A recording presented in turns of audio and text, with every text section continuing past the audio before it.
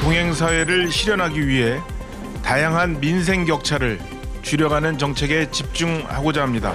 민생 어려움을 덜어드리고자 각 세대별 또 직군별로 가장 절실한 정책을 개발을 해서